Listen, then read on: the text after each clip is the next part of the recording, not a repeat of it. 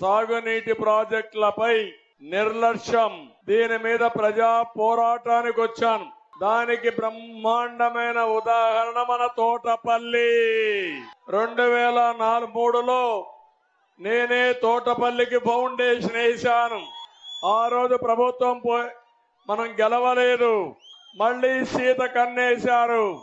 రెండు వేల పద్నాలుగులో నేను మళ్ళీ వచ్చి తోటపల్లి రిజర్వాయర్లో నైట్ అక్కడే పడుకున్నా. జ్ఞాపకం ఉందా మీకు? పనులు పరిగెత్తించాను కొంతవరకు చేశాం. తర్వాత ఎన్నికలు వస్తే మళ్ళీ చేసిన పనులు కూడా ఎక్కడికక్కడ వదిలిపెట్టారు ఈ దుర్మార్గులు.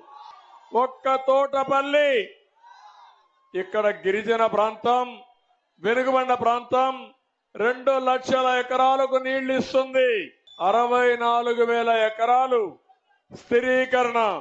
లక్ష ఇరవై వేల ఎకరాలు కొత్త ఆయకట్టు రెండు లక్షల ఎకరాలంటే దగ్గర దగ్గర రెండు లక్షల మంది కుటుంబాలు కుటుంబాలు బాగుపడతాయి. అవునా కదా తమ్ముళ్ళు? మీరే చెప్పండి.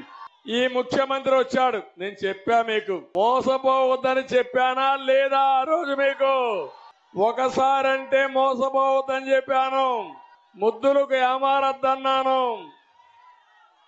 ఒకసారిని కరెంటు తీగ పట్టుకుంటే షాక్ ఇవ్వకుండా పోదని కూడా చెప్పాను ఆ మాట ఇన్లా మీరు. అవునా కాదా తమ్ముళ్ళు? అవునా కాదా ఆడబిడ్డలు? ఇప్పుడు ఏం చేస్తున్నారు? అందరికీ పిడిగుద్దులు. ఎవరైనా ఇబ్బంది లేని వాళ్ళు ఇక్కడ ఉన్నారా? అందరూ నష్టపోయారా లేదా?